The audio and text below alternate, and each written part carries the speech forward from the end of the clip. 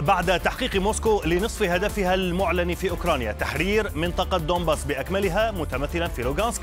تكثف روسيا جهودها الآن للتقدم في النصف الثاني. منطقة دونيتسك التي تواصل قصفها بوتيرة كبيرة. أما القوات الأوكرانية فتستعد من جانبها لشن هجوم مضاد سعيا لاستعادة خيرسون الاستراتيجية في الجنوب.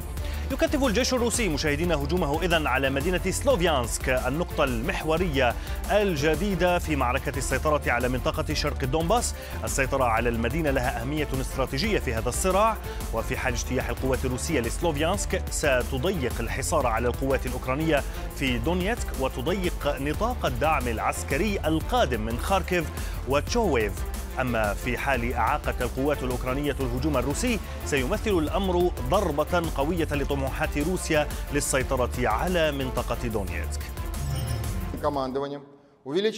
تم توجيه ضربة بأسلحة عالية الدقة إلى قاعدة مؤقتة للمدفعية الأوكرانية ومخزن ذخيرة يقع في مصنع للسيراميك في سلوفينياسك قتل نحو 100 جندي وتم تدمير أكثر من ألف قذيفة لمدافع هاوتزر المصنوعة في الولايات المتحدة وحوالي 700 صاروخ لمنصات إطلاق صواريخ جراد المتعددة. أما أوكرانيا فتستعد لجبهة جديدة حيث طلبت سكان خيرسون وزابوروجيا بإخلاء المدينتين بشكل عاجل استعدادا لشن هجوم مضاد لاستعادتهما. تمثل خيرسون بوابة لشبه جزيرة القرم وهي العاصمة الإقليمية الوحيدة التي تمكنت روسيا من الاستيلاء عليها منذ بدء الحرب. خيرسون تقع هنا مشاهدينا على نهر دينيبرو الذي يصب في البحر الأسود الذي ترى موسكو في السيطرة على موانئه أهمية استراتيجية للسيطرة على المسطح المائي الذي يوفر طريقا تجاريا اقتصاديا مهما إلى البحر الأبيض المتوسط. كما يمكن اعتبارها منطقة أمنية عازلة من أي تهديدات قد تنشأ في جنوبها. سياسيا يتزامن الهجوم الأوكراني بإعلان إدارة خيرسون الموالية لموسكو الاستعداد لإجراء استفتاء على الانضمام إلى روسيا. هذه التطورات تتزامن مع استلام وزارة الدفاع الأوكرانية لشحنة أسلحة بريطانية بدأت في نشرها في خيرسون جنوبا وبخموت شرقا.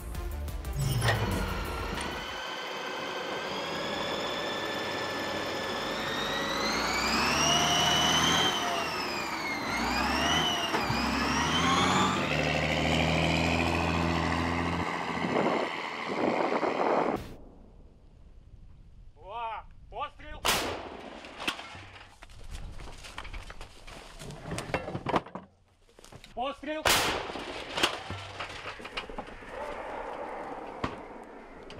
Увага! Постріл! Давайте пульсуем скорее. It looks to me now.